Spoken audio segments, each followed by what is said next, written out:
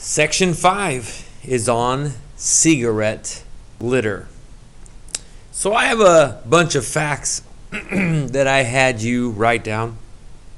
The facts that I had you write down really come from this website that's down here, and some of which I can tell that they come from reliable sources, but some of them I cannot tell if the sources are accurate. So as you as you start looking at some of this data and as we look at answering some of these questions, I need you to keep in mind that we are only as accurate as the information that is given to us. And so let me kind of walk you through uh, what some of this stuff is and what we're talking about here. Okay, so here you go cigarette butts. It's a dirty problem. Lots of cigarette butts get thrown on the ground every single day. As a matter of fact, there's a video that's on YouTube that we watched in class where it shows in Great Britain people walking around and they're just walking over cigarette butts and all that other jazz. If you feel like watching that video again, feel free to do so. It's a problem because, according to some statistics, only 90, only 10% get disposed of in a proper way, whereas 90% of them get disposed of by being thrown as litter on the ground. so, with that being said, you are going to have to take some things as well, what are we going to do?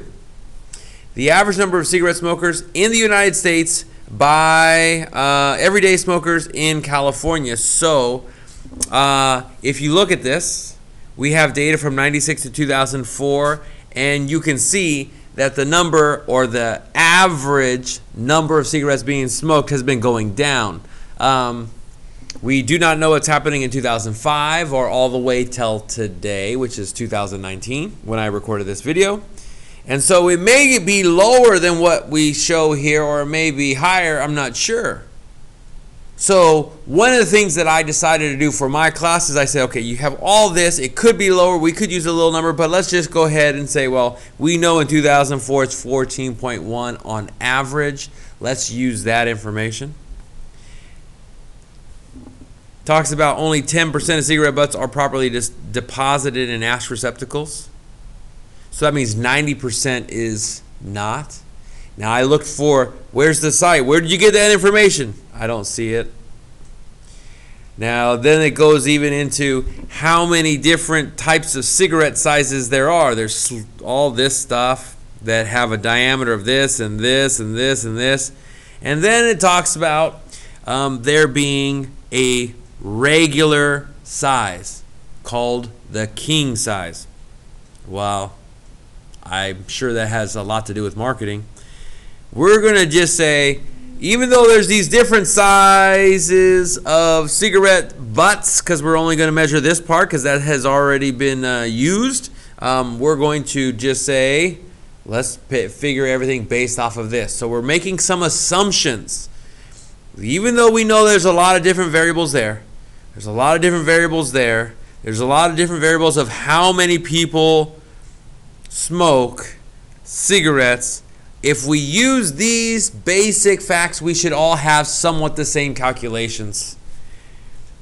If we use that there's about 43.5 million people who smoke, we'll use 2010 data. It's old. I don't know. How many cigarette butts each day? How much are being littered? And then the volume of a cigarette butt can be estimated using an 8 millimeter diameter, not a radius, a diameter, a 35 millimeter height. And then we could use, of course, the volume of a cylinder because they're in a cylindrical shape. And when we do that, since we're measuring in millimeters, it's going to be a volume in millimeters cubed. That's important because if we do any other measurement in terms of feet cubed, we kind of got to know the difference. And some of you, when you do your calculations, your calculations are going to get so big on your calculators that it's going to put things in scientific notation. Good thing your science classes teach you that stuff, right? If you see something on your calculator that says, and I'm and I know it's not this number, but I know it's something similar, 2.7 uh, times 10 to the 11th power. It might even say it like this, uh, e to the 11th. Depending on your calculators, if it gives you this, this is a scientific notation of a really, really big number. That's going to happen because we're calculating things in terms of millimeters cubed. So if millimeters cubed, you know that there's 28,320,000 millimeters cubed in one cubic foot, that will make it room, not room size, but just measurements that we use for the rooms. And so for Mr. Paramo's class, what we're doing, my, my room in room 315 is 26 feet by 30 feet by 10 feet you can figure out how many cubic feet that is, and then take this number and divide whatever number you get to figure out how many of those fill up the room. And I'll give you a hint it's more than fits in, in Mr. Paramo's room. If you look at the library lecture hall, that's going to be our auditorium for my class. For my class, the auditorium, we're going to use 60 feet by 40 feet by 20 feet and we're going to figure out what the volume of the LLH is, which is around this. And then I made some assumptions about Veterans Memorial Stadium, but I went and uh, figured out some dimensions, and we can figure out how many cigarette butts would fill there, how many days it would take to figure fill up that stadium. So when you answer those questions, the questions that I'm talking about are down here. Um, What's the volume to fit in your classroom? Use Mr. Paramo's classroom. Uh, how about the auditorium? Use the LLH. And then how many days of cigarette litter could fit into a stadium? Use Veterans Memorial Stadium with those facts. And then, of course, we're using the volume of a cylinder formula, which will probably be this one right here for you.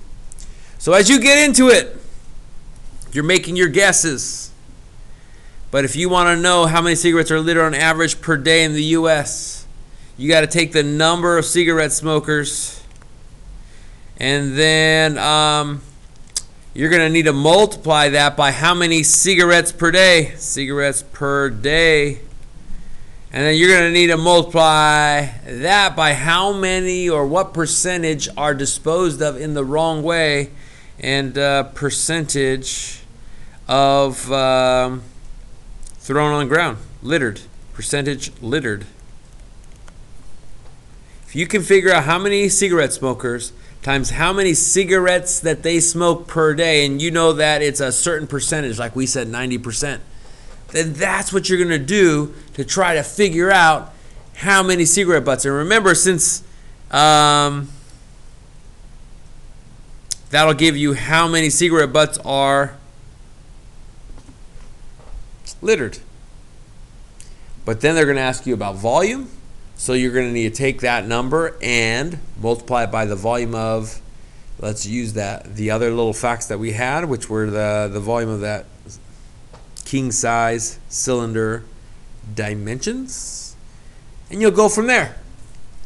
So I'm hoping that gives you enough that you know how to attack this problem. And remember, this is a part of the unit where you're going to have to use what you know to be able to answer questions using real life mathematics.